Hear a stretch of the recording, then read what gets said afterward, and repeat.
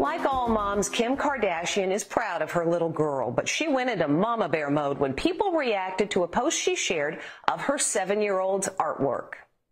Kim Kardashian is furious that people are bashing her seven year old daughter over this painting. It's a sweeping landscape, pretty impressive for a kid. My little artist North, Kim posted. Well, lots of folks don't believe it. I can't stop thinking about how North West did not paint this, went one post. Now Kim is going nuts. Don't play with me when it comes to my children, she writes. North worked incredibly hard on her painting, which took several weeks to complete. The naysayers even made some comparisons.